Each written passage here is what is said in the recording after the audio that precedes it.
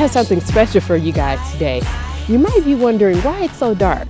During today's episode, I'm going to show you the places that inspired me to paint the night owl.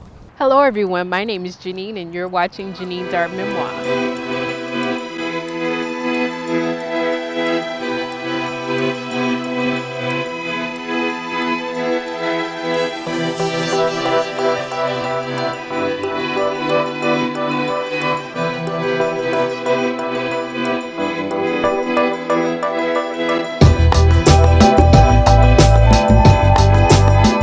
Right now we're in the Windy City, downtown Chicago, Illinois, and this is Millennium Park.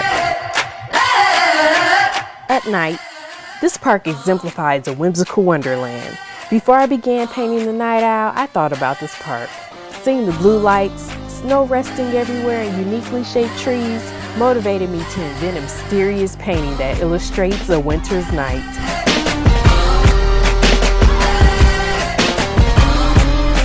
As I walk through this park at night, I always see a vivid and stunning view of the moon.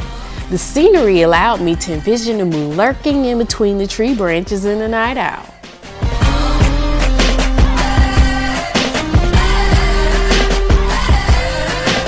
Now I'm going to take you to our second destination, which is the Chestnut Mountain Resort in Galena, Illinois.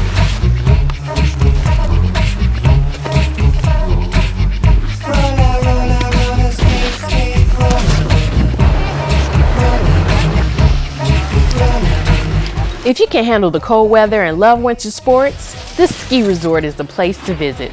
This resort is a blast and very exhilarating.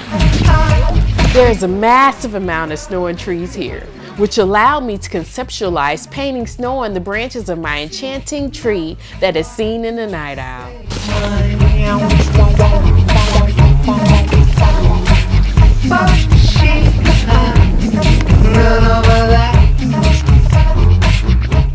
Right now, we're at one of the most animated restaurants here in the United States, and it is the Rainforest Cafe, located in Gurnee, Illinois.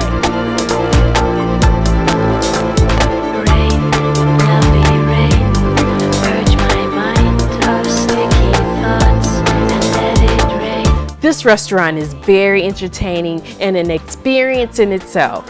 When you dine here, you feel like you are dining in a rainforest. There are different shades of blue fish in the aquarium here. And the various shades of blue inspired me to use similar shades in a night owl.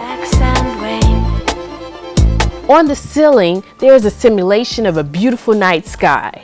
This simulation helped me paint a night sky in the background of my eerie tree, and it also encouraged me to use a darker blue in my night owl painting. We're at Murphy Hill Gallery in Chicago, Illinois. This is the place where you can see my painting The Night Owl. So come on, let's go inside and see.